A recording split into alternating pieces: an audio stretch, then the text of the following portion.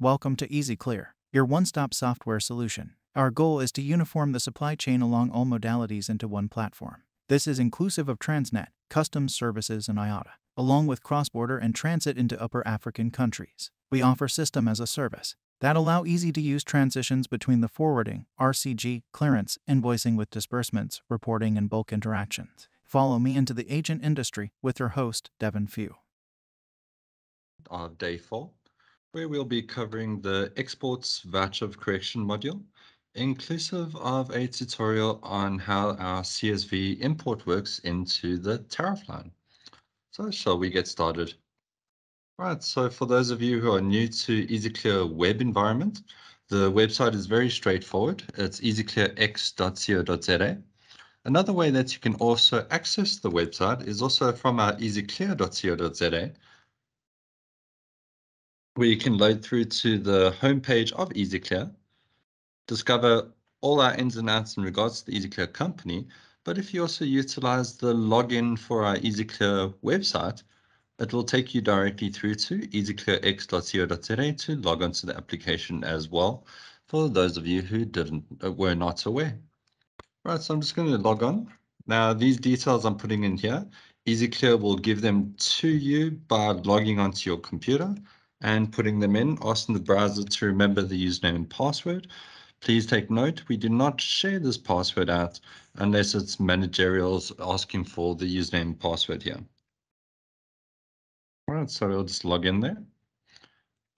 Just do let me know if there's any stutter or issues with communication, as I'm aware there might be a little bit of a lag in regards to the internet. So do let me know if there's a problem. I'll try and make a plan for that. Right.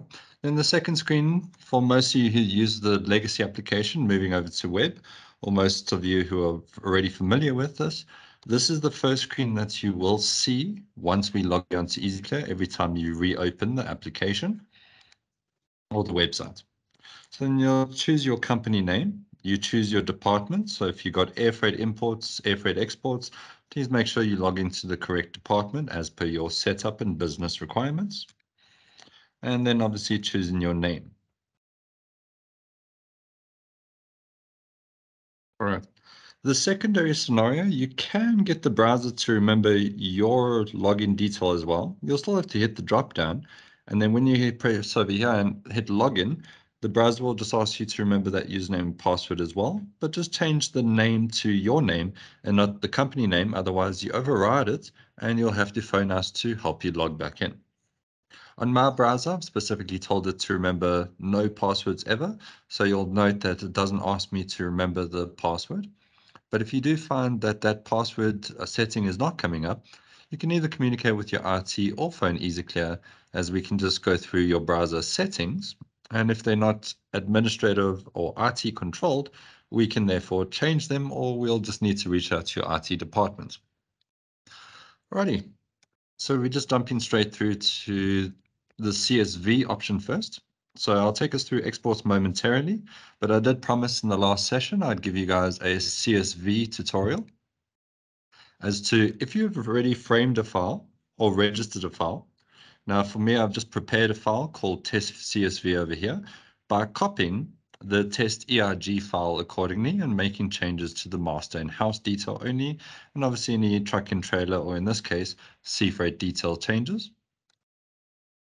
I move over. Now at this point, for importing lines from an Excel document for the tariff lines, when I'm doing testing before I'm 100% certain that my lines are correct, then I can come back and capture the supplier's invoice. But you're more than welcome to do it in any order. Capture the supplier's invoice first, and then import the tariff lines. I just prefer to import the tariff lines first and then finalize the supplier's invoice because I might want to delete the tariff lines and try again depending on what circumstances come up. So I'll press the frame button without capturing a supplier's invoice. And immediately off the bat, I don't choose anything on the tariff line screen. I go straight to the import CSV. Now import CSV has multiple options where you can upload multiple different templates. Please reach out to EasyClear to assist you with these templates. The due reason for that is, and I will show you on screen, a template that I've built over here. If I had to open that, and review the template, more than likely you're not going to be able to create this template by yourself due to the fact that the field names are very unique to EasyClear.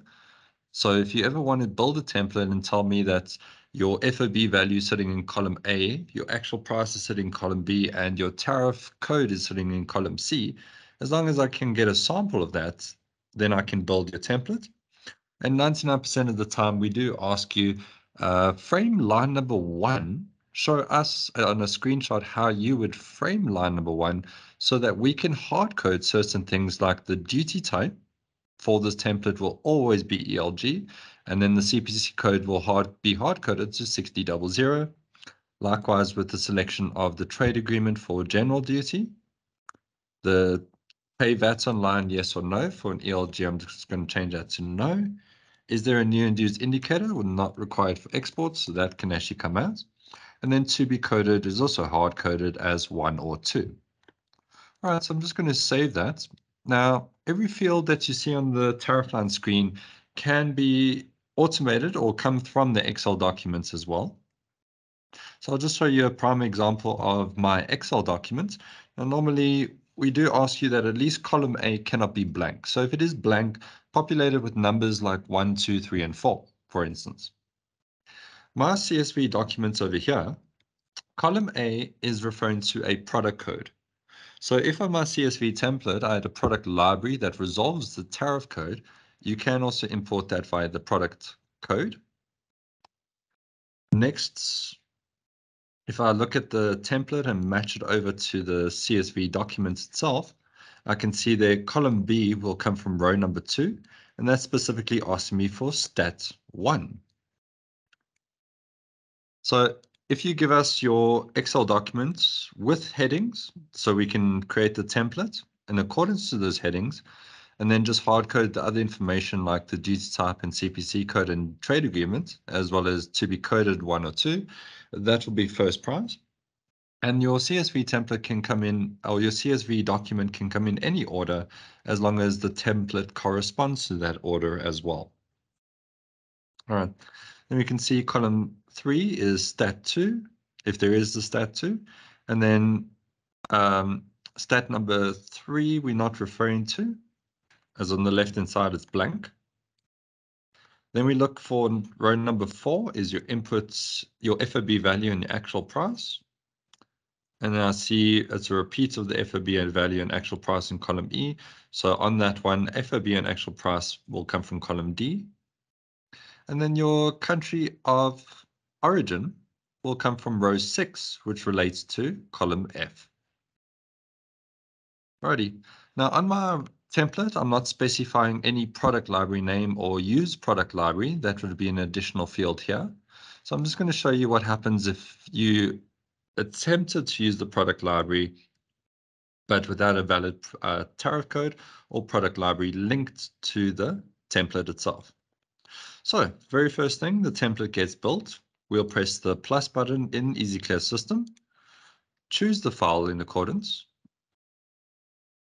so we'll go over to where the file is, CSV sample, ELG text, and then I can just give it a name such as ELG tests webinar. So as you can see, you can give it any type of name you like. More than likely, we'll say ELG 6000 for general DC, and then leave the template name like that. So when you're choosing your template, you know exactly which template you're going to use by the uh, resolving the name of the template accordingly. So I'll press add if you want to delete a template that has been mistakenly added. You can select it and administrative users should be able to delete it. Once you've chosen your template and EasyClear has helped you build that, it will forever and always be in the system and we can modify it if needs be. So I'm going to choose, choose the file thereafter, elg.csv. Please make sure your documents always CSV and if you had to right click on a CSV and click on edit.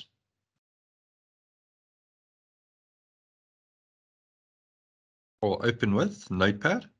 A CSV document, oh, wrong one. A CSV document must always be comma delimited for EasyClear to understand it. So some computers' regional settings to split column A versus column B, it's separated by a comma. Some computers' regional settings have a semicolon, and when the EasyClear system tries to import that, it's not going to recognize the difference between column A and column B because of the semicolon. So if you do find that's an issue, please do give us a call. We can help you change your regional settings to match. Right. Okay, so once I've chosen the documents, if we are using a product library and it's got associated rebate, schedule three and four or five and six to it, we can tick the box and that'll pull, pull it through from the library, or you can hard code it on your CSV documents. And we can also import it from there. Using the pro rata kg for stat one, so say for instance, the tariff code did call for kilograms, but on your tariff lines for the Excel documents, you only have a number of pieces, but no kilograms, EasyClear can prorata the weight. So say, for instance, your full entries value is 100, line and your mass is 150, then we take the calculation to prorata the weight will be the line amount, the line FOB value, divided by the full supplier's invoice value so you can even click it at this time because we will be able to calculate the full supplier's invoice value. Even though I have not captured the supplier's invoice, it gets the FOB values from the Excel document you're importing. Once it's done that, we'll take the FOB value from the line. And I'm just going to write this down just to make it a little bit more interesting.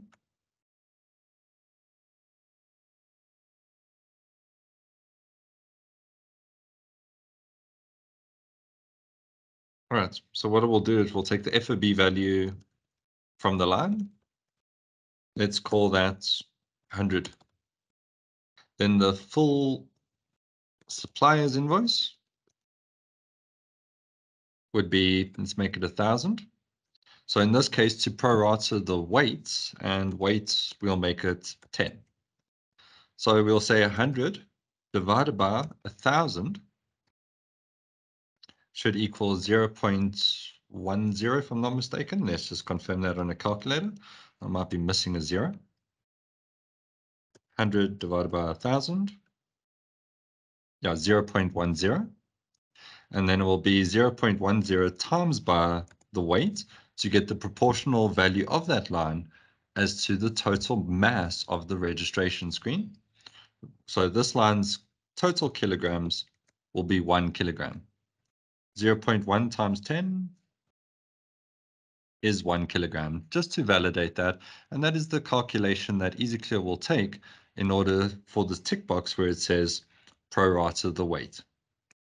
If the weight is available on the suppliers, um, on the tariff lines that you're importing, then it will ignore the pro prorata and import the line detail that you got for the kilogram, validating it does have a decimal value. All right, so from that, I'm just going to import. This one is going to import with errors on purpose, just to show you what happens when I don't have a product library linked to the import situation. So I can click on the orange button or just refresh the screen, and then this pop-up will come up saying imported with errors. I can view that, which therefore will download a text document. Just double check your pop-up blocks are allowed. Sorry, I tested this on a different browser. So now we want to see what that error was. The best way to do so is we can see the tariff lines that got imported less than a couple of seconds, but accordingly the error must be the 029 slash 0015 is not a valid tariff heading, let alone it's not linked to a product library either, so it's not putting anything through. So to reset my CSV import, I can just go back to the supplier's invoice that's potentially created delete the supplier's invoice, move back over, and I can see all my tariff lines are also deleted. All right, so I bet, believe the best bet is let's locate a valid tariff heading. And on that valid tariff heading, obviously you've done your tariff determination for each line according to the commercial invoice. Then you just go back over to your CSV document and insert that correct tariff heading accordingly. So if the top four lines are the first tariff heading, then we can go ahead and determine what our next tariff heading will be, let's use 660191. And you'll notice when I'm doing this, I don't insert any full stops. I don't insert the check digit. I insert the full length of the tariff heading as it would be inserted manually on EasyClear. All right, so we can just close that again, save the Excel document. And even with the Excel document open, I'm just going to go back to import CSV. We got the ELG scenario that we created for this. We're not going to prorata the anything. We've got stat one. So I'll import the data. Oh, you got to choose your file first. Select the document you're importing, template and Excel document. Mm-hmm. Then when I press the right arrow, you can immediately see a pop-up came up. And this time it says importing CSV, hit a refresh, but import CSV without any errors confirms that all the lines have successfully downloaded. And in accordance to that, I can see I've already got eight lines. Now, a beautiful test when you're doing something like this is if you got an entry that's more than, say, for instance, three, 400 lines in length, as to how long it would take to put that information in Excel, imported via CSV, in comparison to capturing each line one by one. So if the import CSV isn't available on your system, you can ask us to activate it, but then do make certain you've at least got sample data to send to us so that we can go ahead and create the templates for you because without the accurate template, this whole process is not going to work. So I've got over 330 lines over here, most commonly the same tariff heading. I'm just going to press save on that, close it, delete the supplier's invoice. That'll get rid of the tariff lines again. Go back over to my tariff line imports, press the CSV, and you can see you can do this multiple times just to alleviate any issues with the file or any alterations you would like to make. And this can be done on the VOC process as well. Cool, so if I'm importing over 300 lines, we can press the orange button. It's already at 50%. There's my 100%. So the program managed to import the 300 lines in less than a minute instead of the normal half an hour capturing of set so many lines there. Once that's all done, I can see my running totals is zero. I'm happy with my tariff line selections. If I do have alternative trade agreements, I can just go to those specific lines, update them to SADC or EU, whatever the case may be. And specific to this one being an ELG, where I should have had an EIG, I can see the origin was China. So there's a mistake on the CSV document where I'd actually have to go back and amend that CSV document to rather be ZA, as that's where the goods would have come from, from an ELG, or in this case, amend the template from ELG to ERG. But if you had made the mistake here, you'd have to go to each line and manually update it, but that's why we prefer just going back fixing the template, fixing the lines, re-import the lines, and that solves the problem instead of going through each and every single one of these lines, which might take you 20, 30 minutes um, plus. Alrighty, so yeah, if there's anybody who would like to use the CSV function, rather just send us an email, send us an example of the data you would like to import, and then we can assist you in regards to creating the template and also just double check to send us a screenshot of how you would register the first line so that we can hard code the information such as duty type and CPC code manually in the template. And if there's an issue in between the process, we can always go into the template itself and update such as the ERG to be ELG from our side with obviously communication from you. Right. If there's any further questions on the CSV documentation, I'll take you through it again straight after the meeting. For now, let's divulge into the VOC portion. So there's two types of voucher of correction for exports. One is a trader initiated VOC, and one it would be a customs initiated VOC. So if I go back to my original entry here, test Devon ERG, I can look at the EDI send and receive screen click on the history or see the latest description under the print menu, and double check there that it either says release and my clients told me in a client's instruction that either the flight number's changing or the ETA date might be changing. Any of the details might be changing. And then you go ahead and you make the changes, submit to customs on the VOC as an agent initiated VOC. If customs had to send you a status 26 amendment notification, then there would be a customs initiated VOC where customs would only accept that VOC if you insert the VOC decision. The acknowledgement indicator rejection is normally because the VOC decision hasn't been inserted, or alternatively, your case number. They'll definitely work hand in hand, and I'll show you where to put that on the screen. So from here, if we portray this as an amendment notification status 26, or even status 31. Status 31 means I can draft my VOC, but customs will be looking for supporting documents of that draft, confirm it as a status 26 before I'm allowed to submit. If it's in a status 31, just remember any VOC is going to reject. It has to go to status 26 to comply. Right, so if we falsify and say this is an amendment notification at the moment, let's do this VOC as if it was customs asking us to do the change and they're asking for 1500 Rand penalty because my country of origin wasn't correct, for instance, as per the section 91. All right, so I like going over here and just seeing, using the magnifying glass on the screen here, put in my file number, and that can also tell me, have I already maybe not created a VOC on the file, as it will pop up here. I can see that I haven't, so it's always good to check, have you created the VOC first? You can either do it in the export VOC section here, or I can go home, clearing, export voucher of correction, insert my file number there, and I can see no VOC has been created for this one. Now I'm going to press add a file. I'm going to search for my file. So even though it is in the list there, I personally prefer to search for it because I don't like to click on the wrong item, uh, thinking I'm working on the right file. Meantime, I've misconstrued it to that uh, an additional file number. So I'll click on the arrow that will open it, and now the VOC has been created. You'll take note the VOC is now being created because it has an underscore VOC.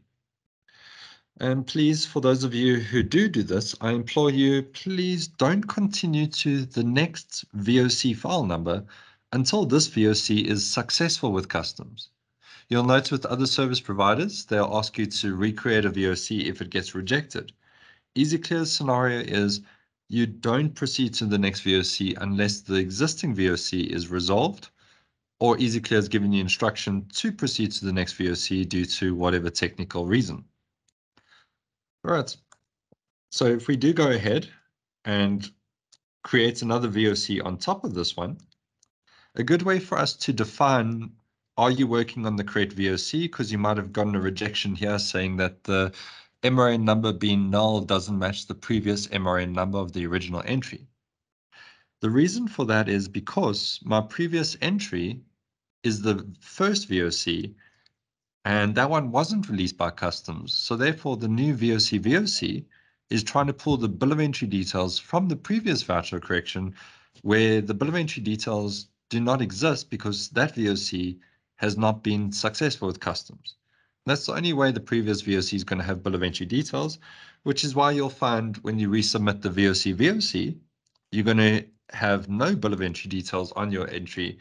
And a good way to validate that is by looking at the EDI send and receive screen.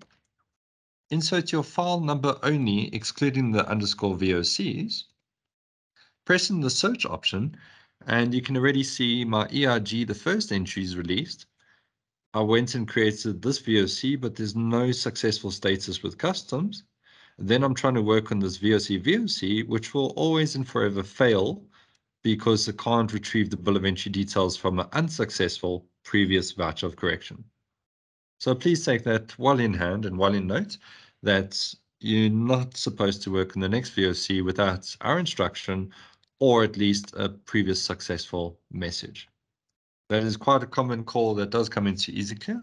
So we can definitely divulge in that one a bit further if you want to phone through and um, make separate arrangements to allow the next VOC to go in order. because uh, you might have a scenario where customs had liquidated the provisional payments, the penalty to themselves. So therefore you need to make the provisional payment a complete zero.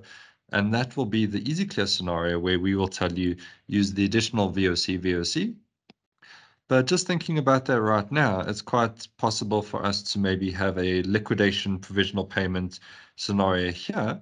It just depends how many times that comes up in the near future, if it's actually legible or mandatory. Otherwise, we'll help you with a manual process to get to the next VOC, making that provisional payment zero. All right, so we don't need to work on this VOC VOC. There's no EDR message to customs. There's no attached debtors invoice. So I can go directly ahead and press the delete button because this VOC VOC should not exist. Okay, so we're going back over to the original VOC that we want to submit to customs. All right, so then the only thing that we're changing here will be the penalty. So I see that immediately the file's created, it's got a duplicate number in house and it's measuring it, if I leave it against itself, it's measuring it against quite a couple of different file numbers that have the same house number. So if I'm happy with that, I can just ignore the button and then press the arrow to the right. You'll note at that point the information was already saved. I wasn't changing anything, so I could just press the right arrow instead of trying to press save again. If you had made changes, Please make certain to save it so the ignore button disappears completely, confirming the item is saved. All right, then we'll move over from supplier's invoice to the tariff line. All right, before we make the changes that the amendment notification is looking for, for instance, I just want to show you the VOC changes that we've made to EasyClear. Now, in regards to line one and line two, those existed on the original entry. So thus we do not have a delete button, but we do have a cancel line button. If you are doing a VOC like an XE out of bond, um, customs don't allow line one to be cancelled ever. So if you are cancelling line one, you may as well follow the process of cancelling the entire bill of entry instead. But if you have any other type of entry, then by all means, you can click on cancel line. So if I am cancelling the line here, that will immediately set that line to zero. If I go ahead and press save now, I'll see a bunch of errors, but now line number one is going to land up on my EDR message because I press save. The very last thing what you do when you're canceling a line is press cancel. That's the first and last thing you do. Please don't press save again. You'll probably get a rejection that customs is missing the information of line number one as certain items can't be zero. So if you are canceling a line, that's the only button you press and you submit to customs.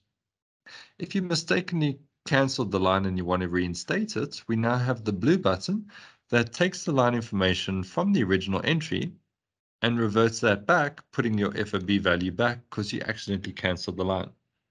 Or even further, if I update the amount to 60, for instance, I hit a save on that and I realize, oh, I didn't mean to change that line. I can revert that back as well, and it will change back to how the original entry was. Right, because lines one and two were on the original entry, I can now go ahead and add line number three, if that was my tentative change with customs. What will the FOB value be? The kilograms, and then to be coded one or two. And save. So you'll now see line one and line two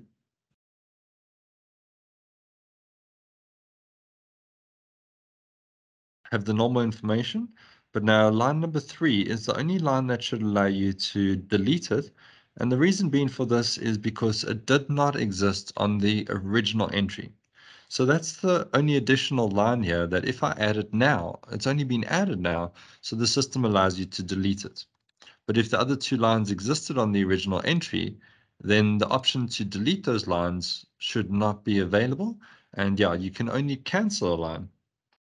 So in order to cancel a line, when you print your worksheets, the line will still reflect, but when you do your SAD 500 and EDR message, that line won't be on the SAD 500 and it will not be in the EDR message. Alrighty, so now let's go back to the scenarios to say the origin was mistaken, that that should have been, instead of US, that was coming from China. And each time I press tab on the tariff code, the tariff book will pop up. So if you're just changing China, you can immediately use your mouse and press save. Otherwise, if you tab through, the tariff book's going to open again and redo your selection. So I'm just going to press CN and press save again, as that's the only changes I'm making. Now customs have also run a penalty asking me for provisional payments of 1,500. So I can scroll down on the file, locate the item for provisional payments, penalty, insert my 1500, scroll to the top of the page or slightly up as the floating save button does follow you, you can press the save option. And that'll be the additional 1500 that we're paying on an export VOC.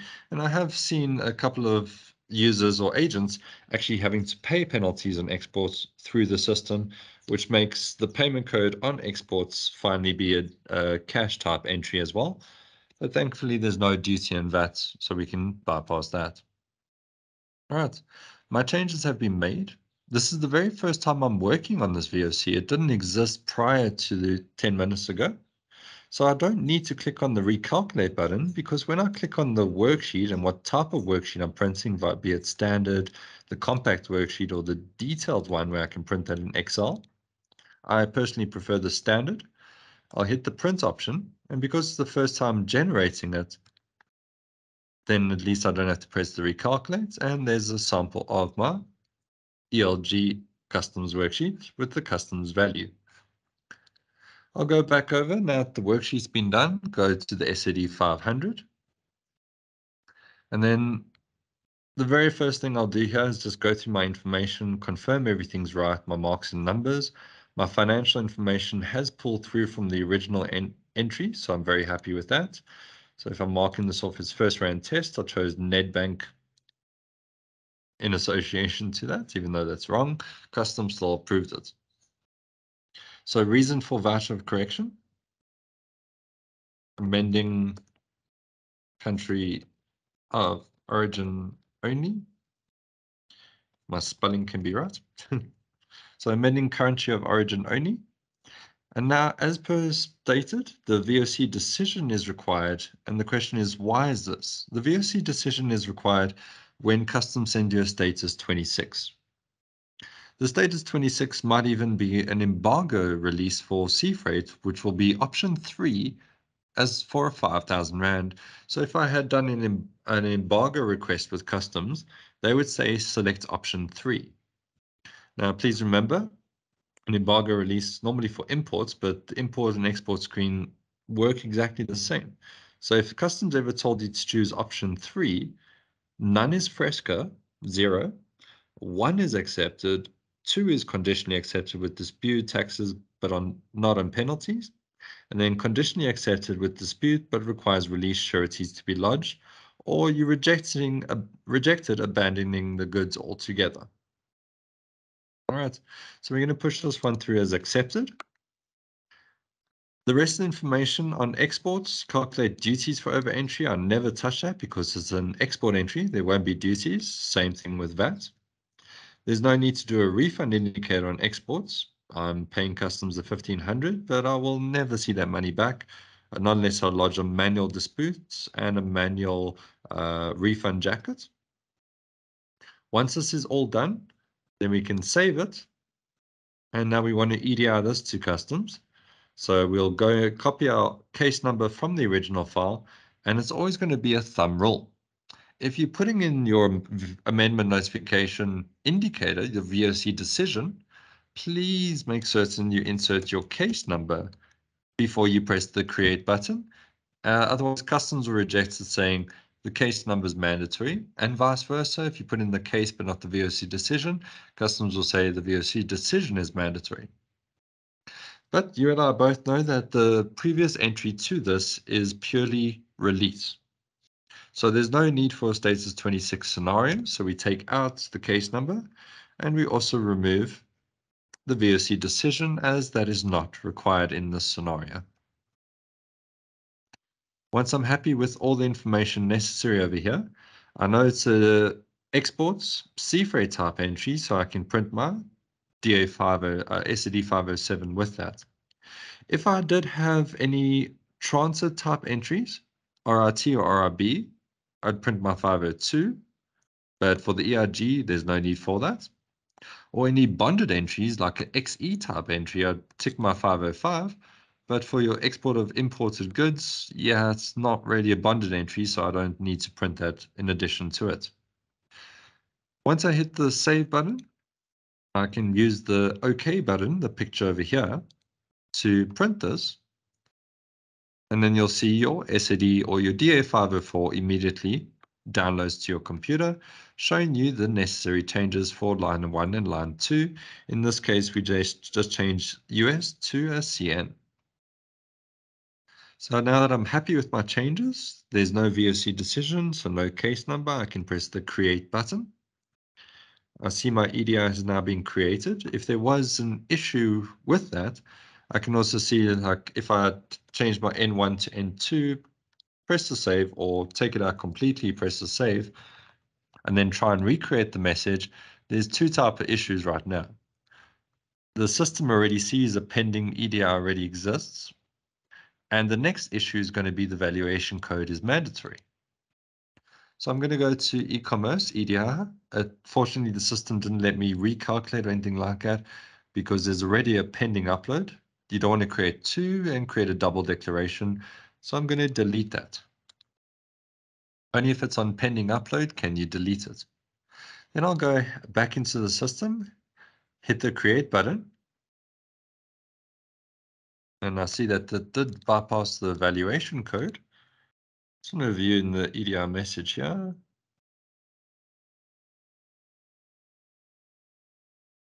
Hmm. Valuation code on this one completely got bypassed. That is not good. Uh, we'll sort that out. Oh, yes, the validations on the test system are set to half, so it won't validate that. But if it is checking on your system, please confirm. Right, so I am happy that it is there. We can also switch the validations off like you can see on our system, but you'll take notes probably on your agent's profile. By default, 99% have the full validations ticked, so it will always validate the code N1. If you are noting the code N1 is there, but it's still giving the, you the error message saying uh, valuation code is missing, that's purely because on your supplier's default, so I've just gone back to the registration screen. My supplier in this case is the exporter. They're supplying the goods to the overseas, so I'll press the plus button there. Hit the blue button. It's taken me to client maintenance. I'll scroll down just slightly, ever so slightly, and I can see there that I've got exporter defaults and also supplier defaults so the supplier defaults is the only place where the VDN number is inserted into the entire system. So it will definitely be off the consignee due to the system's tick boxes and setup.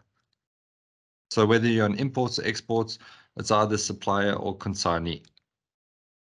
So then we can go to supplier's defaults, insert the VDN number, hit the save button there, so whenever I'm creating my EDI message from the SAD 500 screen, it's not going to tell me N1's missing because it has been added to the client, or in this case, the consignee as a default being the relationship code.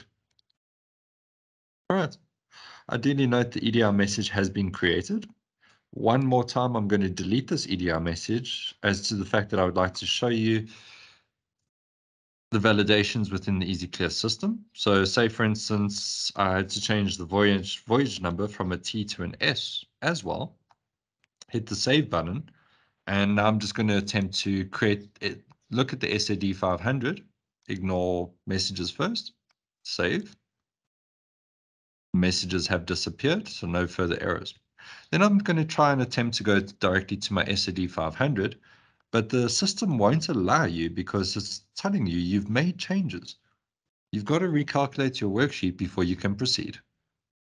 So we'll change this back to a T so that customs don't get confused as to what we're changing versus what additionally we're changing that's not on our VOC reason. Hit the save button.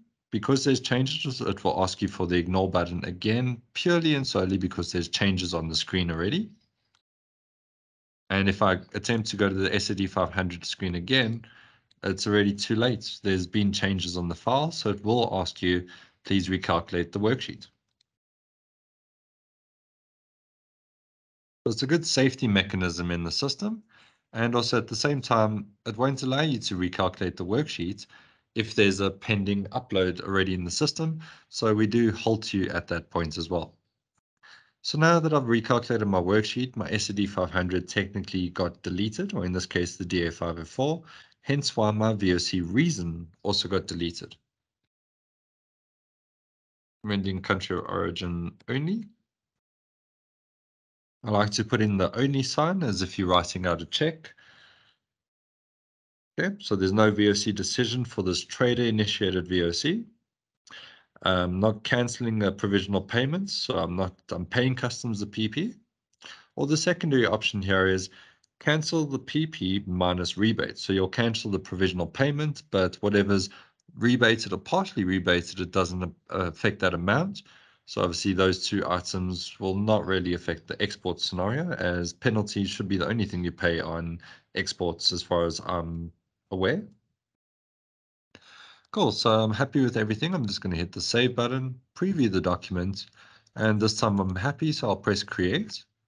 Go to the e-commerce button.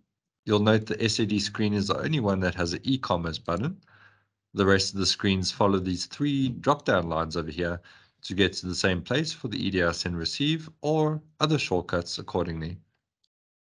I see my pending upload is here.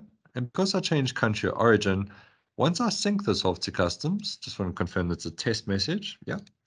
Once I sync this off to customs, then I'll be able to validate and confirm uh, whether it's going to go to query docs for status study 13 or not. So I was just reading over this message here, the electronic airway bills that we do communicate to with CHAMP and the airlines, saving you $50 instead of cutting a waybill manually. So if you want to save the money, get in touch with us. We can sign you up with CHAMP and you can actually send e-airway. But the reason why this one's only failing is because that website is no longer valid. So let's just remove it from our test environment. So once I press the sync button again, you'll see there I've gone through amendment granted. So customs let me make the necessary changes without going to status 33, uh, status 13. So if I had a status 13 query docs, then I can see, ah, there might be a case number that customs would have given to you. So I'm just inserting a case number manually. And then I can go ahead and choose my supporting documents or drops you down to the bottom of the screen where you can select your document type. It's going to randomly choose this text file. Should technically be a PDF type document. Only PDF type documents can be selected to be uploaded to customs. I'm just using the first file I found as an example. Once you build up your list here of supporting documents to customs, you can click on send and each document individually cannot be bigger than two megabytes in size. If I mistakenly attached a document I don't want to send to customs, I can just click it and remove from list. As I'm not going to send this as that will go to the Dwirdenkloof office as a live scenario, which I don't want either. Right, so everything seems to be in order there. We got our amendment granted. So now I can go ahead, click print my paperless release by clicking on the print option. I can see my paperless release is downloaded.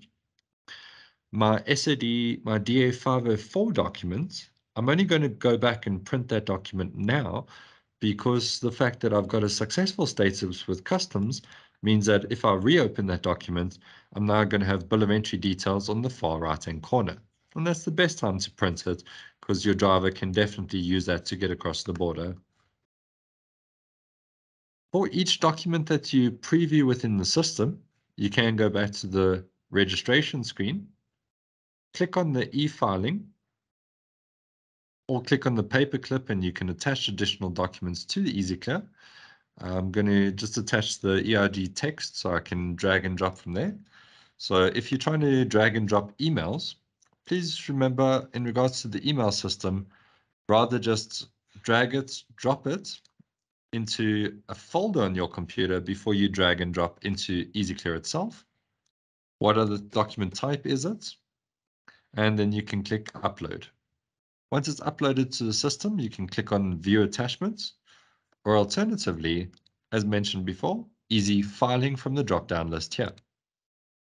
Then you'll note even the SAD 500 that I just previewed is already on the archive for the paper trail. I can press this blue button on the right hand side and download it. And I've re-downloaded the same SAD document. Or I can download the mail that I'm looking for. And based on that one, if I don't want it in the system, only administrative users can delete that as for everybody else, the red tick box or the red box cross here is definitely not visible to non-administrative users. All right, so it's a nice place to keep documents against the file in the system. So if you're ever using an archive process uh, that puts your documents in a box in a warehouse that you struggle to locate, maybe just keep the documents attached to EasyClear as that'll be a quick and easy find. Alrighty, and then yeah, that concludes the EasyClear voucher correction for exports. Thank you, ladies and gents, for joining.